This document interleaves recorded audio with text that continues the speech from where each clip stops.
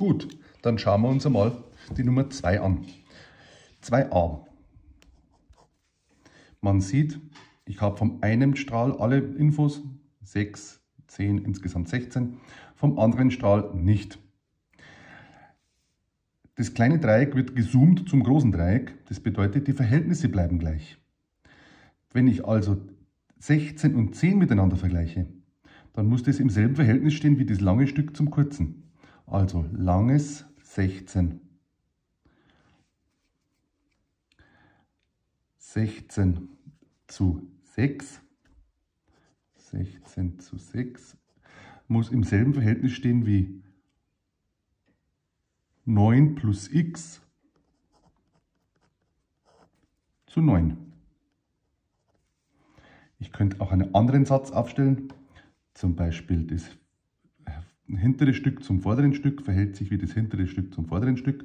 Dann würde da stehen 6 zu 10 verhält sich wie 9 zu x. Das ist einfacher zu rechnen als das hier. Über Kreuz multipliziere ich, dann steht da 6x ist gleich 90 geteilt durch 6. x ist dann 90 durch 6 ist 15. Jetzt kann ich hier 15 herschreiben. B.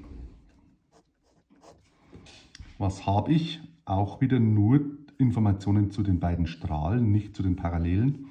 Also wieder erster Strahlensatz, selbes Muster. Hinteres Stück verhält sich zum vorderen Stück, wie das hintere zum vorderen. Ich schreibe 5,6, verhält sich zu x, wie 6,3 zu dem vorderen Stück 8,1 minus 6,3 ist 1,8. Wieder über Kreuz multiplizieren.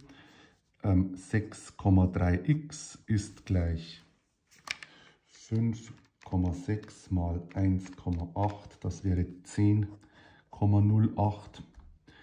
geteilt durch 6,3. x ist dann ähm, 10,08 geteilt durch 6,3. x ist dann 1,6. Ich kann hier oben eintragen, dieses Stück ist 1,6. Bei C haben wir zum ersten Mal keine V-Form vom Strahlensatz, sondern die X-Form die ja bekanntlich eigentlich auch eine V-Form ist. Man muss sich nur die eine Hälfte gedreht vorstellen und hier drüber gelegt.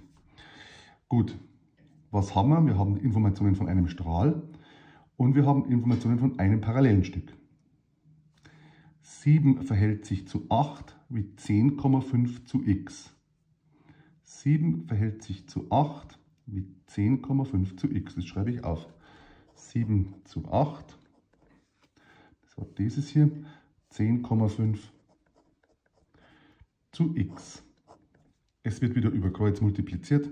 7x ist gleich 10,5 mal 8 ist 84 geteilt durch 7. x wäre dann 12. Also ist das hier 12. Man sieht schon, das ist ein Schema, das wird sich bei D, E und F im nächsten Video fortsetzen.